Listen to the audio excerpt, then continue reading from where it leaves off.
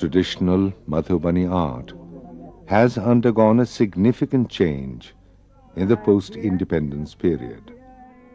Although it is still distinctly recognizable as Madhubani, it has become the art of talented individual artists.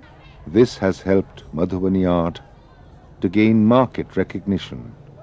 Traditionally, only women from the Brahman and Kayasth households would paint upon the mud walls of their dwellings on ritual occasions like a wedding or a sacred thread ceremony.